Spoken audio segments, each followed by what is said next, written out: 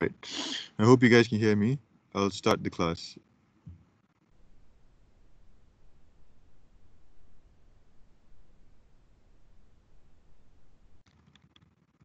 Right. The topic for today is vestibular schwannoma. This is also known as acoustic neuroma, acoustic neuroma as well.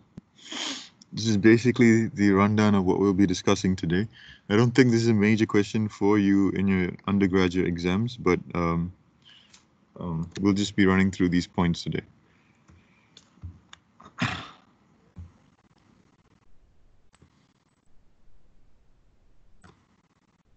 Right. So what you basically need to know is the anatomy of the cerebellopontine angle, which is the area that's marked here. This is a triangular shape filled with CSF. Um, superiorly, inferiorly, all the boundaries of of this area is not essential for you to know unless you're planning to operate on one of these cases. So basically what you need to know in this area is inside this cerebellopontine angle, you have your emergence of the facial nerve here and the vestibulocochlear nerve here, just below it. Um, these are the anatomical landmarks that are surrounding it. That's of uh, high clinical significance if you're planning to operate on one of these cases. Um, so for uh, undergraduate level, what you need to know is uh, the internal acoustic meatus, which is what you see here. This is the passage of both the vestibulocochlear nerve as well as the seventh nerve um, from the cranial vault into the uh, into its foramens. So the first part of it is done through the internal auditory canal, which is uh, which is what you see in this diagram here. Um, so in the anterior aspect of the internal auditory canal, you can see that superiorly you have the seventh nerve and inferiorly you have the cochlear nerve. In the posterior aspect, what you have is uh, the superior vestibular nerve. In the posterior inferior aspect, what you have is the inferior vestibular nerve. This is divided into four quadrants by a vertical bar known as the Bill's bar and a transverse crest that you see here. So this is very important to understand that this is how uh, the cranial nerves are transmitted from the cranial vault into its foramens or the external or its end stages. And uh, an easy way to remember this is by a small mnemonic. Anteriorly, what you have is uh, 7 up, the drink. It'll be 7 up because it's always superior and uh, Coca-Cola down. So you have the cochlear nerve down. Inferior, posteriorly, you just have the superior and inferior vestibular nerve which uh, I think it's not too hard for you to remember. Um, coming to the epidemiology, you have uh, th these are not these are most common tumors affecting the cerebellopontine angle, and 80% of tumors of the cerebellopontine angle are acoustic neuroma, neuromas or vestibular schwannomas. And 8% uh, of them are, have an intracranial course, so um, they extend into the cranial vault. So the incidence is very low. You have only 10 in 1 million individuals per year. And they usually present in the later stage of life, about the age of 40. Um, they can initially appear to be in a sporadic uh, nature. Sorry, it can also appear to uh, present to you in a sporadic nature, with 95% of the patients complaining of sudden hearing loss, and a few of them have uh, neurocystic fibromatosis or familial VSS associated with this. Uh, the age of the non-sporadic forms are quite early in life and during the 20s and 30s of life. Um, there's not much that you need to know about the pathogenesis, but what we can say is most of the vestibular schwannomas, they arise from the superior and inferior vestibular nerve at the transition zone uh, called the Obersteiner Redlich zone. This is the most important thing you need to know in this. And this transition zone is in the lateral part of the cerebellopontine angle or the medial part of the internal auditory canal. So this is the area that commonly uh, houses this tumor. Uh, vestibular schwannomas are most commonly, they arise in the internal auditory canal more than the cerebellopontine angle. So like we mentioned earlier, the intracranial extension is quite low. Only 8% have an intracranial extension. Majority of them arise inside the internal auditory canal. And that's because this is a highly debated topic. vestibular schwannomas arise from, but they most commonly they suspect it from rising from the vestibular nerves due to the highest concentration concentration of the Schwann cells, which is basically present in the Obersteiner-Redlich zone. Um, the mutation for this is uh, the 22q12 gene, and uh, NF2 patients also inherit this disease as well. I'm really bad at pathology, but uh, I'm not really sure how to differentiate these two cells. But what you need to know is that Antoni B and Antoni A cells will be present in uh, vestibular schwannomas or acoustic neuromas. Uh, I'm really poor at pathology, so I'm not going to go deeper into that. Uh, this is a very important uh, for all of you clinicians out there that the natural history of this disease is it's extremely slow growing tumor. So you have this tumor growing at a pace of 1.8 millimeters per year. That's, that's really, really slow. And the reason why that's important is because uh, the signs and symptoms will be gradually progressive over a period of time. And uh, the structures that are surrounding uh, the vestibular nerves in the internal auditory canal will be compressed slowly over this period of time. It won't be a sudden compression. So even if it does have an intracranial cross extension, it'll be a slow compression of these things. Uh, there are uh, incidences where you can get rapid expansion of the lesion. That's usually due to cystic degeneration or hemorrhages or, or rapid uh, neuro neurological deterioration of the tumors or hemorrhages where you can have a rapid progression of the disease. But these are uh, few and far apart. Um, so the most important from the natural history is that the growth will compress the cochlear nerve, causing unilateral hearing loss or unilateral sensory hearing loss with tinnitus and vertigo. And as, as far as vertigo is concerned, as I've mentioned earlier, this is a very slow growing tumor. So it'll compress the vestibular nerves very slowly. And because of the slow compression, what you have is the opposite vestibular nerve will have enough time to adequately uh, uh, um, compensate for uh, the affected vestibular nerve damage. So what happens is many of these patients initially present with uh, vertigo and it slowly disappears over time. The main complaint these patients will come to you with is sensory neural hearing loss with tinnitus. And again, that's due to the compression. Um, so another thing that you need to know is the motor fibers of the facial nerve are extremely resistant to injury during the intracanalicular phase. So the patient's facial functions are quite normal. They say that the motor fibers of the facial nerve are more centrally placed. So even compression on the peripheries are not going to cause much damage to the facial nerve.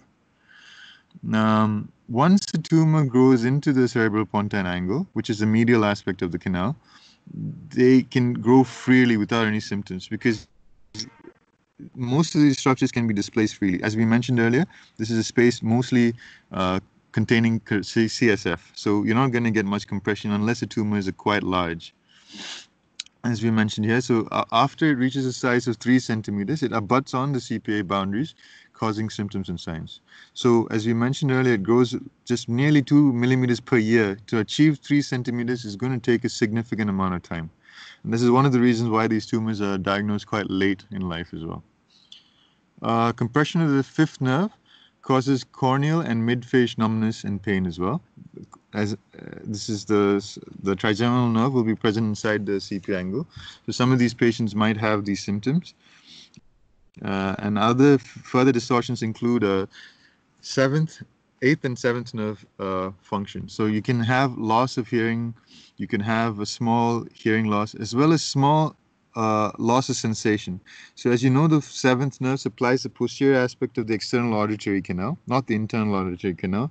So in some of these patients, when you examine them in OPD, you can pass a probe and slowly touch the posterior aspect of the external auditory canal, and they will not have any sensation there, which means there is a compression of the seventh nerve's uh, sensory function. And uh, if it's an extremely large tumor, it can also distort the fourth ventricle.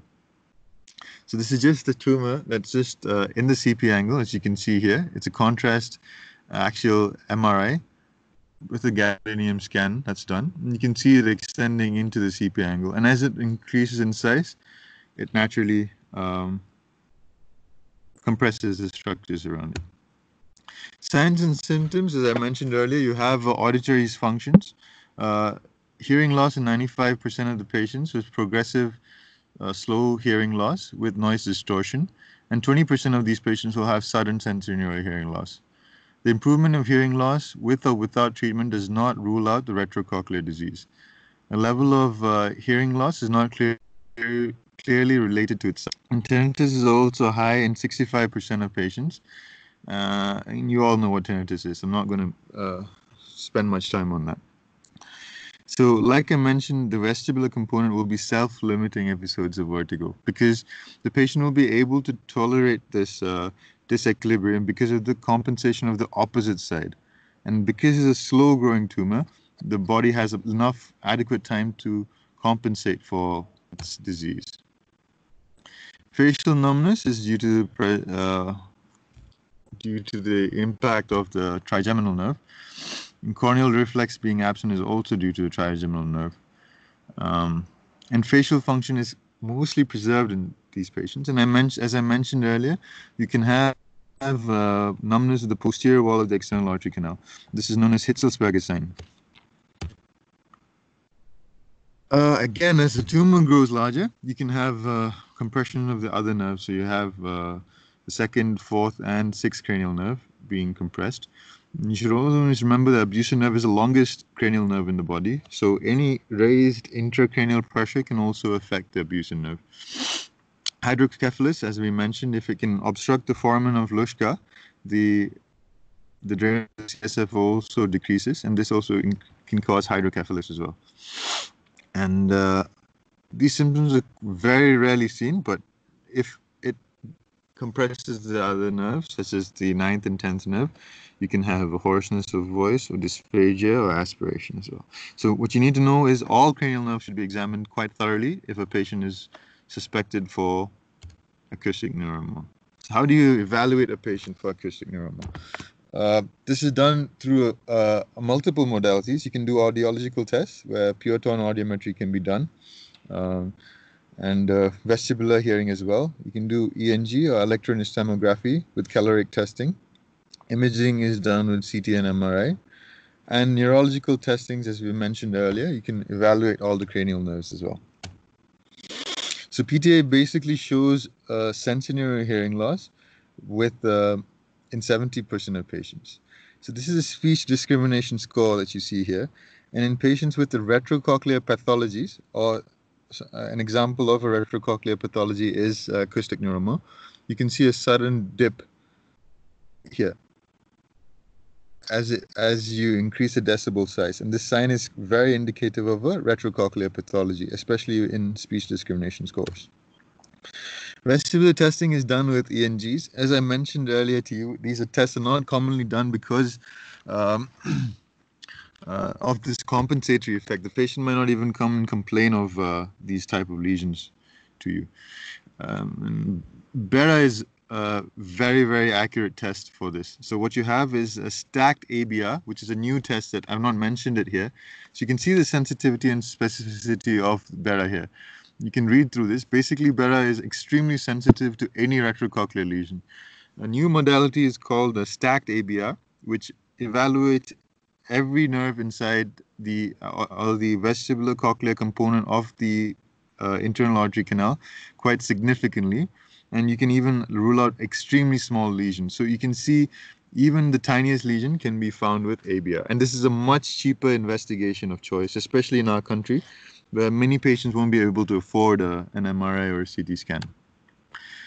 Naturally, the gold standard treatment is an MRI because it gives you both uh, uh, visualize, visualize, it gives you a good uh, visualization of the tumor. So this, this basically allows you to operate on these patients as well if it's needed. So you can see with an MRI gadolinium contrast scan, you can see this lesions taken up quite well. Now, about 20% of patients, you can have bilateral lesions, maybe one being smaller than the other. Management. Uh, so you have a couple of ways of managing these cases. I don't think you need everything in this slide. It's just for those who want to read a bit extra about it. So you have two ways of uh, going about it. One is the surgical removal of these tumors, which is uh, Oh, sorry. Uh, so one is the surgical removal of these tumors, and these surgeries are a bit complex. They're skull-based surgeries, uh, lateral skull-based surgeries, and quite difficult to perform.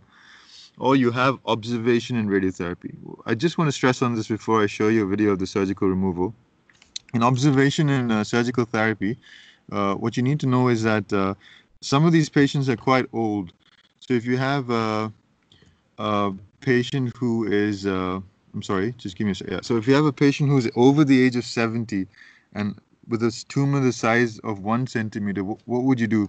I'd like to see your responses on your chat box. If you have a patient over the age of 70 with a tumor in one centimeter in size, how would you like to proceed with this patient?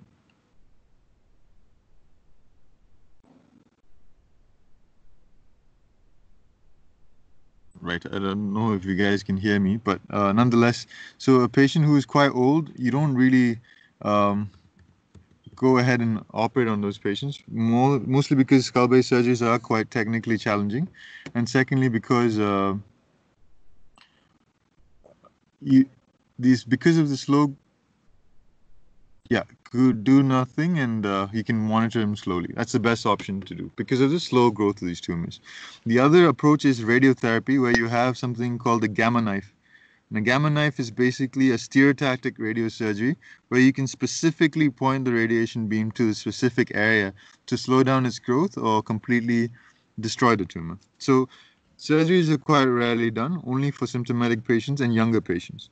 And the approaches we have i'm just going to talk about these three approaches and not in detail as well. So each approach depends on the size of the tumor and if you want to preserve the hearing for these patients as well. So if the tumor is large you might need to go for a retrosigmoid approach or a translabyrinthine approach but you're going to kill this patient's ear while you're doing so. So they're not going to get a great um, good quality of life following many of these surgeries I do want to show you guys a video of uh, of a middle cranial fossa approach. Uh, um, so all of you have answered it correctly. So there's no medical line of management. You can just wait and watch. None of them are going to get affected. I'll just uh, change my slides. Just give me a second. I just want to show you a surgery. It's a middle cranial fossa approach for acoustic neuroma. So I hope you guys can see this now. So you can see there's a small lesion here and the middle cranial fossa approach is preferred for these type of patients. You can see the drop in, uh, so this is the incision that's made. It's a, uh, a C shape. I don't know if this video is playing extremely fast or I'm slow. Right. So basically a C-shape incision is made over the lateral aspect of the head and a BERA is put intraoperatively as well because you can see the compression on the vestibulocochlear nerve. So this gives you a good uh, idea of what's happening intraoperatively as well. So you can see a C-shape, inverted C-shape incision is made or question mark incision is made over the temporal bone here. And the skin flap is raised anteriorly. It's an anterior blaze flap and you expose the cranium. And you harvest the periareolar tissue here and you can make a flap over the external auditory canal, anterior to the external auditory canal, so where you're expecting the internal auditory canal to be. So once you expose it and the bone is drilled out, you have your middle cranial fossa floor here. This is the dura here. This is the middle cranial fossa floor here. So what you need to do now is to identify the petrous ridge. So you can see the surgeon slowly pushes back over the cranium and identifies the ridge. So he's just identifying his anterior, medial, and inferior aspects for the surgery.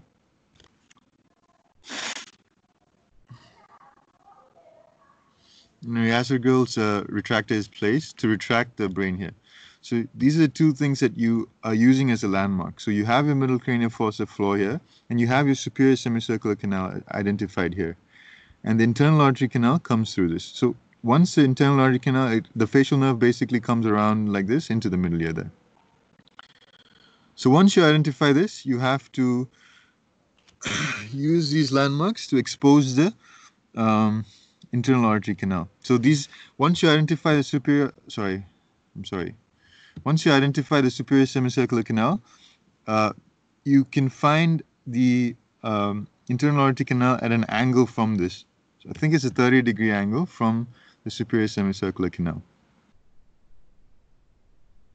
Or the other way of identifying is a retrograde dissection of the greater superficial, petrosal nerve, which is, uh, you can damage the nerve quite uh, easily. So that method is not avoided.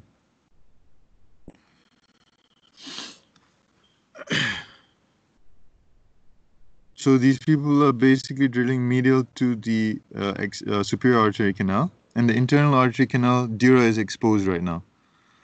And once it's exposed, they're exposing the whole length of the internal auditory canal here. And the pars acousticus is the opening of the internal auditory canal, and they're just opening it up here. And this is a nerve monitor, so it basically gives stimulation to the face, and the uh, doctor is able to identify the facial nerve from the internal auditory canal. Right, so once internal auditory canal is completely exposed like this, what they can do is expose it. They can go through the dura and you can see how far away it is. And the advantage of doing lateral skull base surgery is there's less morbidity to the patient. To approach this from a normal craniotomy will be quite high.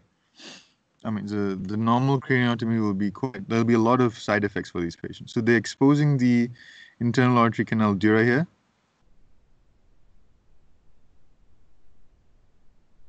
So this is a nerve monitor as well, and he's able to identify the facial nerve within the internal auditory canal.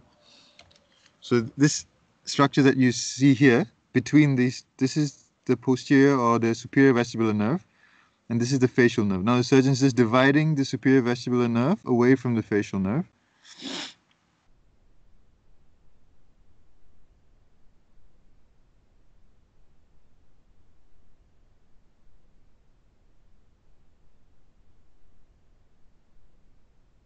And they the tumor to remove it.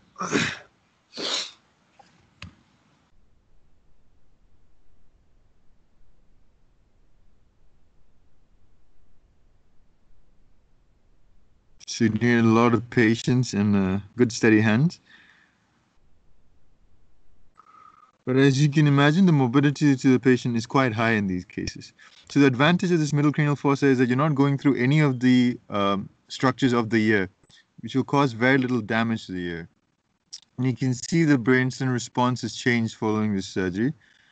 And that's pretty much it. I'll just uh, come back to our slide.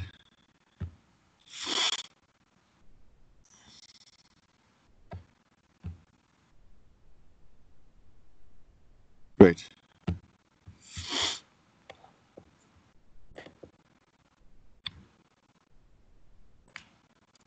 So, like I mentioned, each approach has its own benefits and demerits. Uh, so you can see the trans-labyrinthine approach, you have to go through the labyrinth and uh, it causes a lot of hearing loss and it's usually advised for patients who only have a more than 30 decibel hearing loss. Um, so just, I don't think this is really needed for you. I don't think any of the surgeries are required for you. Um, and the last I wanted to mention was stereotactic radiosurgery. So this is basically a new modality. It's also called the gamma knife. It's basically you can Google it, you can take a look at it. It's basically focusing external beams of radiation to a specific point in the body, which will uh, reduce the growth or decrease the size of the growth, which uh, aids these patients quite a lot.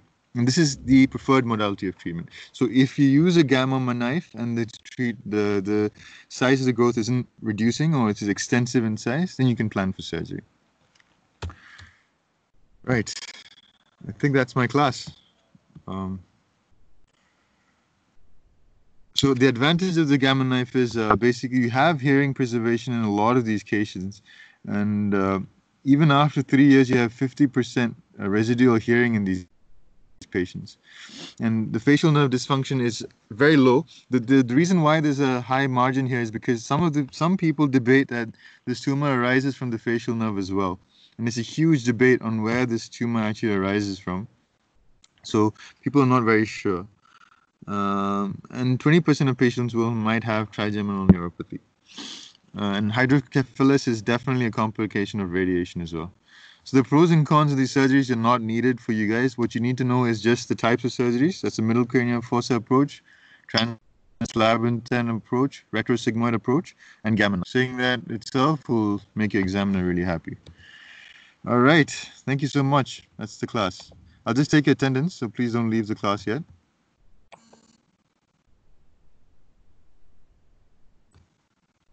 All right. Think there's a question here from Gayatri. Although the damage to the ear is less in translabyrinthine approach, won't there be more damage to the seventh nerve in the middle cranial fossa approach due to the anatomical location of the seventh nerve and deblocking the tumor? This is why they use a nerve monitor. So before the surgery starts, we uh, apply uh, multiple uh, probes onto the uh, facial muscles. So what a nerve monitor basically does is when you go and touch the facial nerve, these muscles get stimulated, and we'll be able to see those recordings. So this is uh, the way we can avoid damage to the seventh nerve in these cases. The nerve monitor gives us good feedback. And this is used in parotid surgeries as well. And recently, people have started using this in um, thyroid surgeries as well for recurrent laryngeal nerve function as well like you mentioned, it, there is a high chance of damage on all of these cases, and that's why stereotactic radiosurgery is sometimes preferred over um, actual surgery for these patients. I hope that answers your question. Right, I'll just take your attendance, guys. Just give me a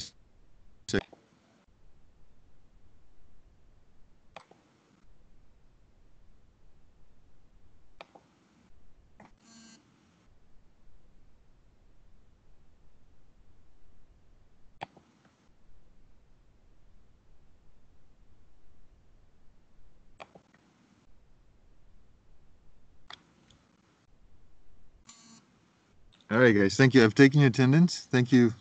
Have a great day.